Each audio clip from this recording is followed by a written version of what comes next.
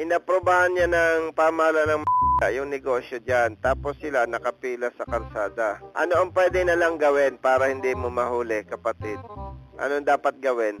Bali po, ano, ang pinakamagandang gawin, mag-ikot muna sila. Ang ibig mo sabihin, kapatid, habang hindi pa sila papapasukin doon sa gate, iikot sila ng iikot, ganon? Ah, ah, ganun na. Hello,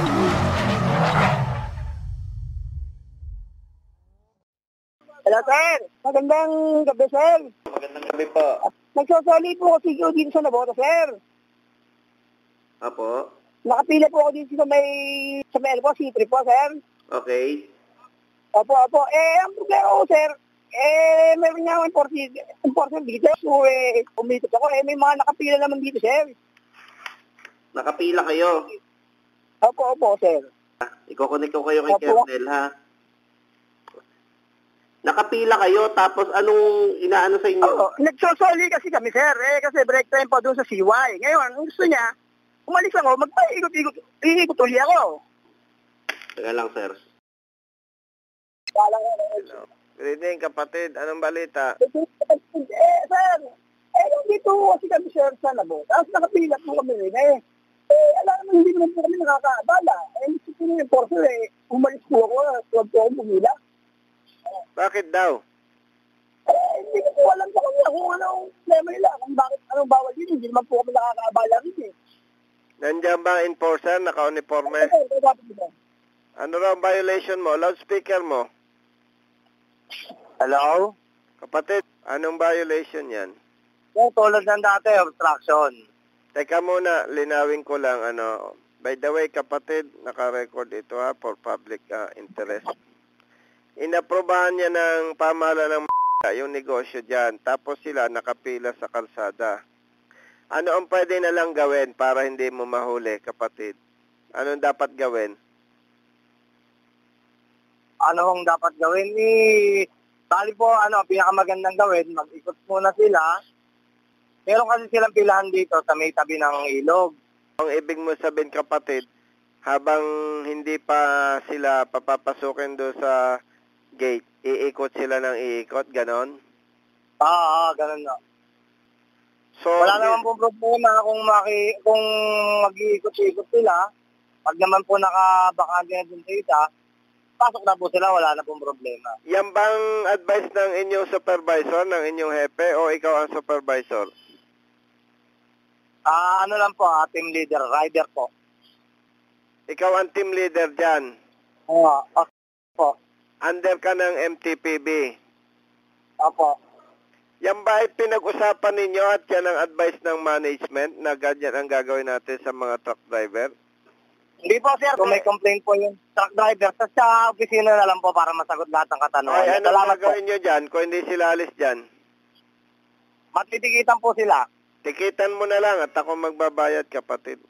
Unfair naman po kasi dun sa ibang nat natikitan. Kapatid, unfair sa truck driver, inaprobahan ng lokal na pamahalaan ng mga negosyante dyan. Tapos pag sila ay nakapila, titikitan at huhulihin. Hindi makatarungan, pero dahil hindi naman kita tauhan, hindi kita pwedeng utusan.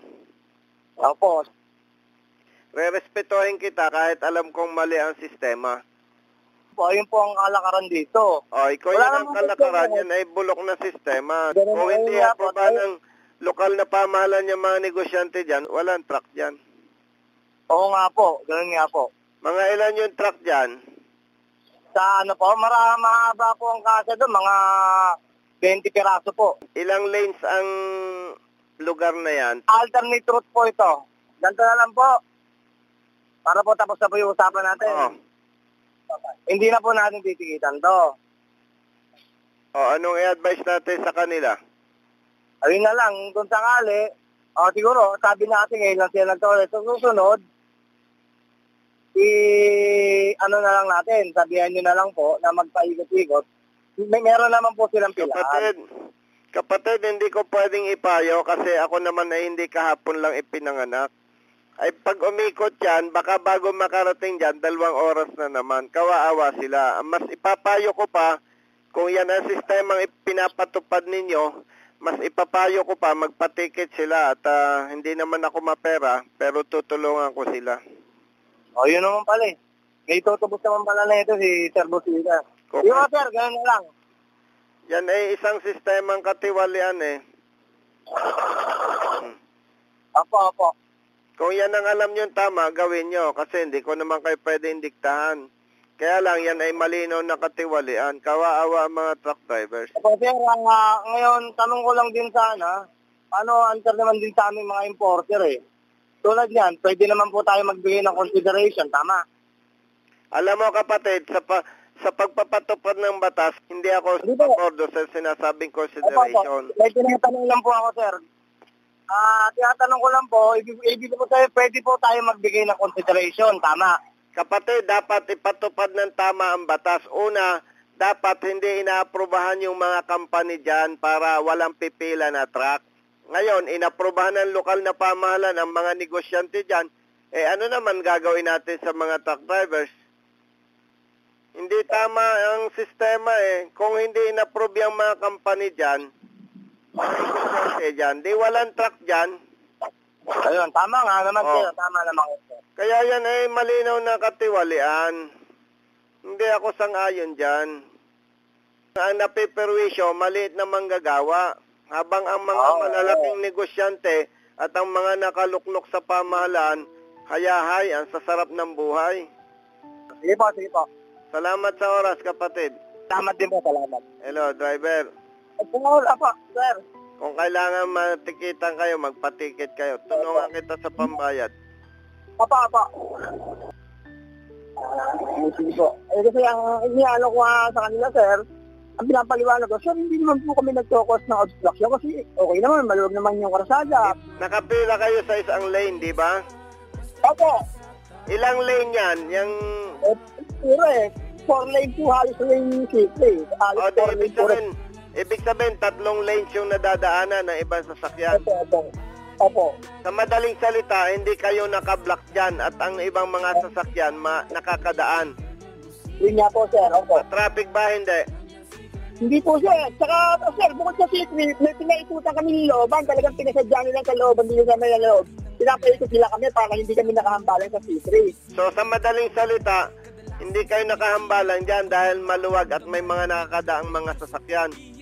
Hindi po, sir. Kahit po tatlo, makakarampa eh. Oo.